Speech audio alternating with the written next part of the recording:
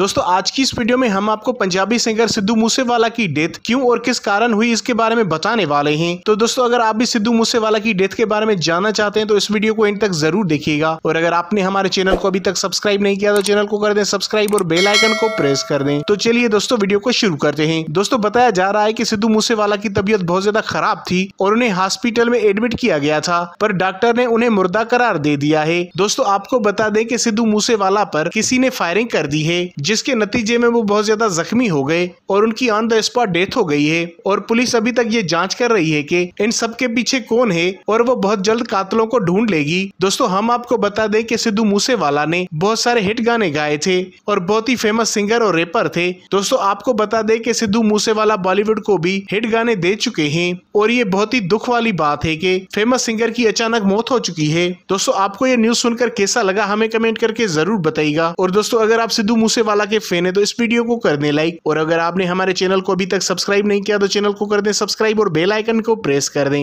ताकि आपको हमारी आने वाली वीडियोस की नोटिफिकेशन मिले सबसे पहले